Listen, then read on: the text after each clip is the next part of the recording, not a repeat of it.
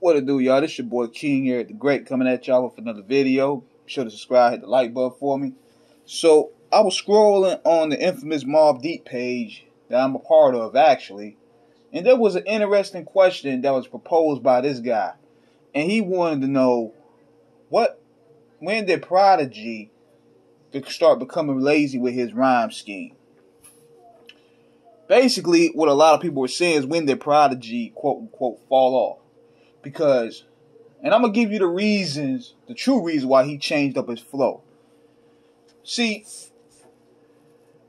you listen to albums, his albums from 1995 up until the H and I C album.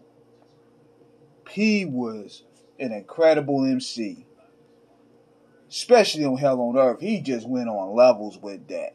Now I'm gonna tell you when I started really seeing the change. Believe it or not, it started around 2000 with HNIC. You listen to his flow on Still Shining, Apostles Warning, Hell on Earth, Shook Ones. He slowly started to slow his his flow structure up on on on um, HNIC. Even with Keep It Thorough, he was rapping totally different than how he ever was. It was just he had such an ill beat and he was just talking his ish his flow started to really become more slower because he started understanding more so the change of the landscape of hip hop. Because even you could probably even say 1999, where he started, he started reaching out more so to the south. It probably started with the song with uh, Eight Ball MJG. And see, later on around the infamy, that's where he really made that full transition. I, and, I, and number one was because he was sick. And see, what people don't understand is when you get older, when you're sick, it's it, it sometimes changes how you approach a song, how you flow on a strong, how you get your breath control going. It played a, a real key role. And plus, the industry was changing to where they had to be more diverse in terms of rapping over different beats and doing collabs with different artists. So Prodigy couldn't rap like the Hell on Earth Prodigy on a lot of songs and going into the 2000s. It would sound weird because that's basically that style was basically more so for a that era, the New York era, the hardcore New York era. So we going into the 2000s to the 2010s.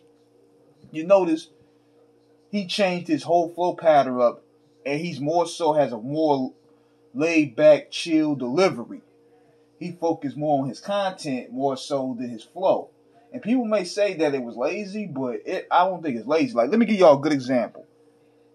Listen to how Snoop Dogg was. Snoop Dogg from 1992 to 1996, I believe. He was just in beast mode when it come to tracks the Snoop Doggy Dogg era when he was just in beast mode. Then came the Doggfather. He changed his whole script up. Now, a lot of occasions happened during that period, and he went through a depression, and you could tell he sounded like a whimpering dog at times. But after that, he didn't really go in attack mode with a lot of those songs. He started adapted a more so laid back, chill flow. And just like the production value was changing in hip hop, and he built a longevity career behind it because he was able to do more features on more different songs. He couldn't go into Snoop Doggy Dogg mode on a lot of them songs.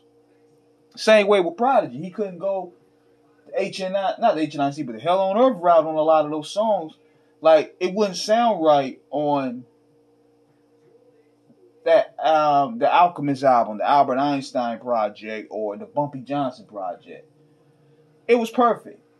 So him being sick and that played a role in him pretty much transforming his flow. I started I started also noticing the full transition on the Free Agents project.